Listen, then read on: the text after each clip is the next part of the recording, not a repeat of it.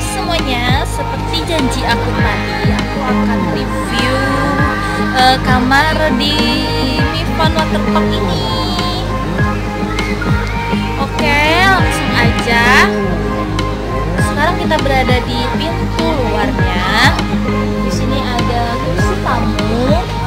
Nah, kalian bisa lihat, cuma satu yang aku gunakan untuk duduk. Makanya aku kasih alasnya cuma satu. Pemandangan luarnya juga bagus. Di sana langsung ada kolam berenang dan di sana juga ada tempat pemandian untuk orang dewasa. Dan di sini adalah tangga masuk kita menuju kamar. Nah, itu kamar semua.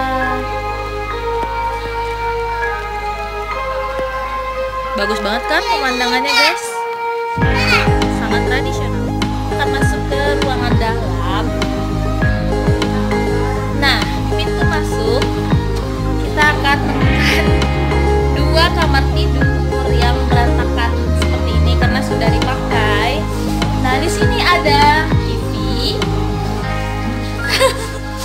sini ada TV, ada meja, ada lemarinya. Dan di dikasih fasilitas dispenser dan juga tempat minum, tempat ngecas. Kemudian di sini ada kamar, eh lemari dan juga ada WC-nya. Oke teman-teman, sekian dulu vlog dari aku. Jangan lupa